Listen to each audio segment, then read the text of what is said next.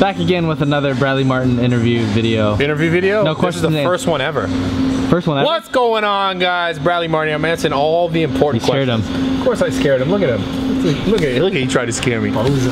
Like, really? really? it's gone. You're good. Okay, perfect. We're setting a stream up here, by the way. We're setting a stream. Look, Fortnite. Lit. See, look, look, lobby, look. Look at my character. So we're setting a stream up. That's what these are for. Okay. We got the mic here. We got all kinds of stuff. We're ready to go. Yeah. So we got some qu- questions? we got some questions and answers, and the Go questions are from me actually. Okay. So I think uh, it'll be good. But the first question is, before we really get into it, you know, Okay. warm up warm up question. Okay. If you had the choice to have the perfect body part, right? But like Okay. kind of like swapped out on your body, would you rather would you rather swap out for the best calves or the best triceps? Triceps. Why what kind of what calves, bro? You just wear you wear you know joggers. You wear athletic pants. But you already have good arms, so what if you just like if you had really good calves, then you could wear shorts whenever you wanted during the summer. Short shorts, bro. You don't care about shorts? I, I mean I wear shorts. What short shorts. Calves, smavs, So triceps, biceps, bro. So That sounds okay, better. fine. What about triceps or like the the forearm part right here, where like Phil Heath has like that crazy, you know? Phil, Heath- come on, that's Phil Heath, bro. So would you have rather have that. tricep or that that one thing? Ooh, tricep. Tricep? That's the bulk. Who, who looks at this, dude? What's that? No, who looks at that? Like, you know who looks at that? Other dudes. bodybuilders. Exactly. You know what? You know who looks at this? Dudes. But girls. No, they don't. Yes, they do. Min Nikki told us in a video. We No. did Culture Cast. She told us, she said, No. she looks for guys because she's into working out. She looks for guys with big arms. I swear to God. She said that. She, they look at most girls look at abs and like biceps and chest. Whatever. Most girls look at your bank account. At least in LA. No, no, no, not your bank account. Well, they can't see it, hopefully. Yeah. So we don't have access to it. Yeah, so what do they- they look at? Oh, your car, And your shoes, your watch. shoes, your watch. God, Oh, it's damn. so bougie, bro. Whatever, dude. It's all good. But I would, I would pick the triceps because arm day is every day, babe. You already know that. Everyone knows that. So I got a handful more questions, man. Give me a really good question. Um, okay. Ask me about Fortnite. No, that's I don't care about Fortnite, whatever. Uh, I want to know if you weren't Bradley Martin online, as you know the YouTube name is Bradley Martin online. Okay. Who would you be? It'd be Bradley Martin offline. I'd be the same person I am today. I know, but what would you be doing? Like, what business would you be in? What career? Oh, okay. Would you be competing still with bodybuilding? So like, what would I be doing if like they, I didn't get internet popular? I guess is what you're saying. Yeah. Um, I honestly like my goal or my, my plan before all this was like I was gonna train people. My like initially I thought like oh I'm gonna train celebrities. So I was like, you know, as I moved down here I realized like oh like this is where all the celebrities live in LA. I can like train this one and show them what I could do, show them like my capabilities and go tell that one. And then I figured like that's how I would build a business and I was gonna open like a small training studio and just train people. That was my original goal So your goal is to be like the most a popular celebrity trainer. Yeah, Yeah. Because I didn't, I didn't. This was not a Instagram wasn't a, it wasn't around. It wasn't like Yeah. oh I can go on Instagram and make a following and make stuff online and, and build a business, build a brand online. It was just it was still like I had to do this in person and be face to face with people, which I think is actually really important. Like to, I think a lot of people now they get into like. Uh, social media trying to be like social media people Yeah. and they forget that like because You gotta be a person first. yeah, because everyone goes, well, how do you do it? Like, what's the thing, and what's the thing that I should do? And it's like, I don't know what's important to you, because you guys got to understand this. Like, the same thing I would do in person, like me to Steve over there, or me to Kev, or have the conversations, or the things that I would go through and talk about, or like share with people, like like like this, Bradley Martin, in in person, offline, like who I am here is the same thing I put on the internet. Yeah, it might be a little bit more like extra, or it might be a little bit more like uh, I might do some crazy videos to get attention. But at the end of the day, when you make that real connection with people, that's the same thing you got to do in person. That you got to figure out a way. Okay, how can I also make that real connection with people that I'm able to do in person with people online, and then to millions of people, right? But people get so caught up in like I just got to get a number and I'm going to be popular and then everyone's going to love me. And it's like no, like there's tons of girls who got tons of followers, but it's like because they show their butt. And it's not that guys don't like them, people don't like them. It's like it's a different type of value, and there's nothing wrong with that. It's still fine. It's still good. But my point is like if you're a person, guy or girl, doesn't matter. You, you have to like have something that you actually care about and let that like fuel you as you're like trying to make posts on social media. Like what what what message are you trying to deliver to people? And and I think whether or not like the internet was here or not, like I've always been that person where I'm like, I want to be a better person. I want to feel better about myself and who I am, and I like to see other people do the same thing. And that's all it is. And I just try and like spread that on the internet. And, and you know like film a crazy video with the girl so I get more eyes and more attention on me and then deliver that message deliver that message over and over again the thing that matters to me. So that's what's important is figuring out what matters to you like so yeah to answer your question Bradley Martin offline would be the same thing. I would just try and like train people. That, that was my only goal you know? And then I was like maybe I get into acting which I'm still thinking about doing but I gotta like do more work I gotta take you know acting classes and stuff like that and Gotta lean out, bro. gotta lean out Gotta grow your long hair. yeah. Grow my exactly grow the long hair. Um, yeah. Any other good questions, bro? That's a good question. Um, I got a few more good questions We should title this video "Everything You Want to Know." about Bradley Martin. Yeah, but we, I mean, we're gonna have that many good questions. Okay. Uh, I don't know if we're gonna have that many good questions. Well, okay. I got another one. Okay. Um, what do you think has been the hardest thing in your journey of social media, internet, YouTube, Instagram, Twitter? The hardest thing? Yeah. For yourself, like, how has it affected you personally? Balance. Finding balance. Hands down, balance. Like with relationships, friend, even not even just like girls, things like that, but like um, friends and like family, and finding balance with like being there enough for that, being there enough for this. Because like the whole social media thing is like, you know, people work like a nine to five and this and that. Like social media is like a twenty four seven.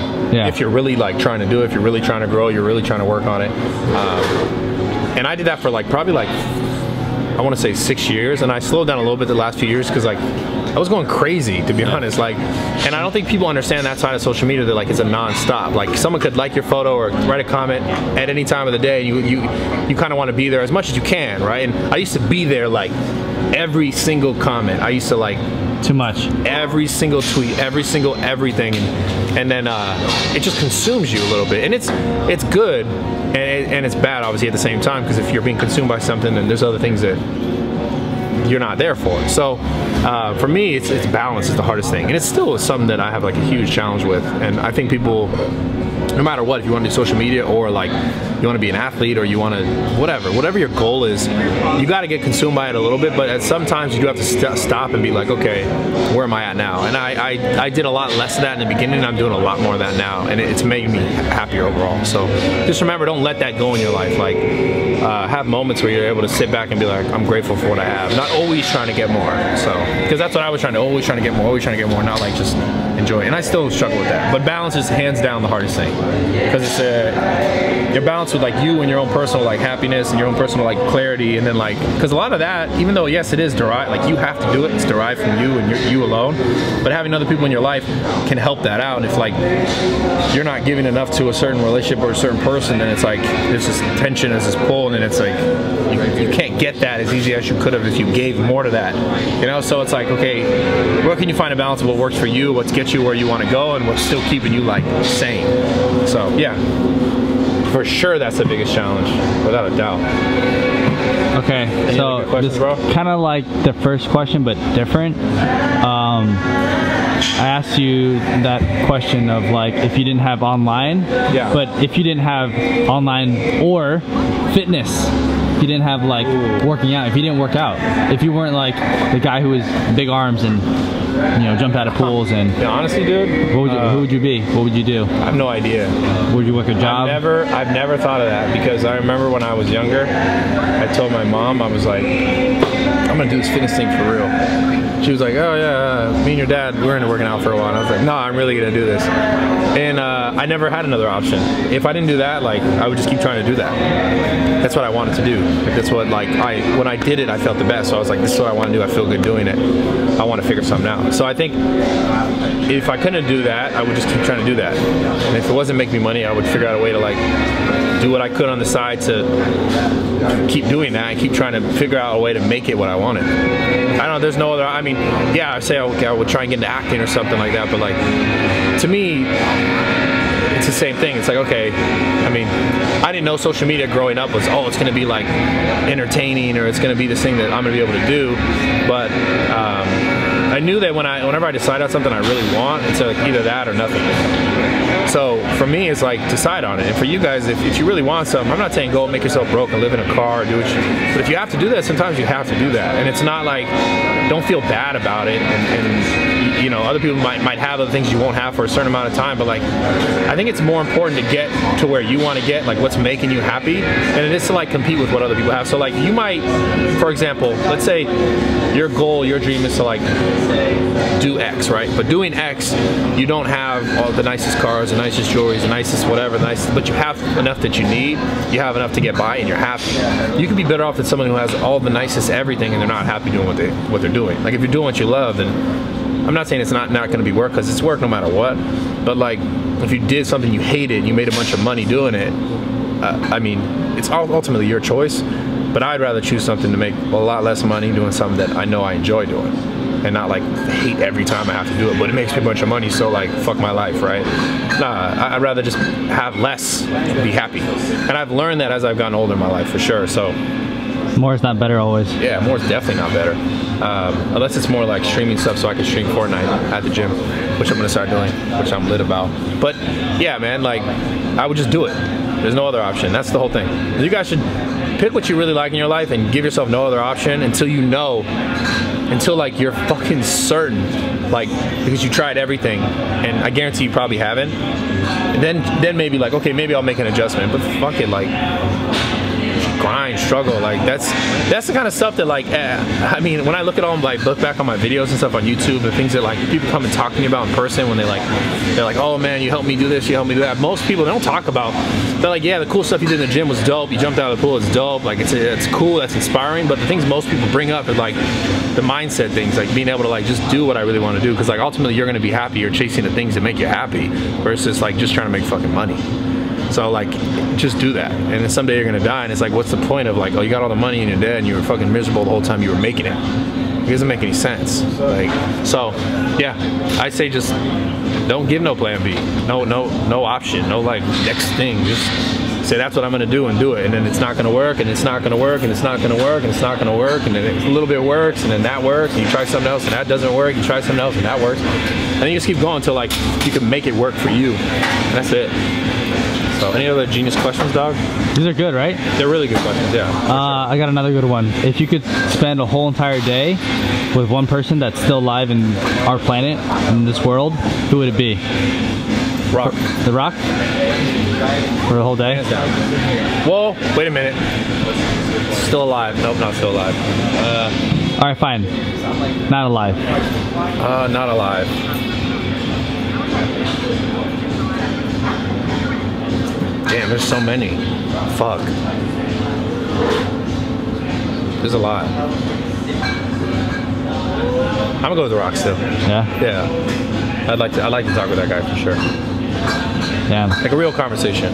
Yeah, whole day. You get 24 hours, man. It's a lot. That's a lot of meals. It's, it's I probably feel like we would fly to like six different countries and do like 15 different press conferences and sleep for 45 seconds and then work out six times. and then and then also like and then have pancakes. and then hang out with like 16 handicapped kids and and then also eat giant stack of pancakes and then film two movies and then uh, do like a new uh, new series for ballers like promo Yeah. and then uh, I feel like we'd also like all in 24 hours. I get a new tattoo yeah dude what do you mean it's a rock Probably. he literally does that this I know. I don't know dude that guy's amazing apparently he's like six of them I know. I think it's like the rocks it's like a bunch of The Rock.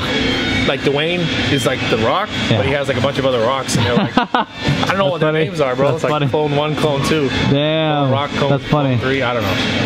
Yeah, That's, that's funny actually. lit, bro. Any other good questions? Um, let's see here. Every day, so ask me what I'm hitting today. I already know. BeAFigure.com. What are you hitting Huh? today? What do you mean, dude?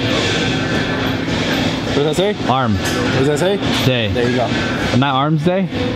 Arm day, bro. Arm Which day. arm? You, what arm you gonna work out, huh? You didn't think about that, did you? You, Kevin. I'm done with you, dog. Well, prob- probably the bad arm. Huh? If if I gave you a hundred What's in, bro? a hundred million dollars, Huh? Okay. what would you do tomorrow? Hmm, what do you mean? I stream Fortnite at my gym. Yeah, hmm, Oh. Hundred million. I would open up more gyms. right away.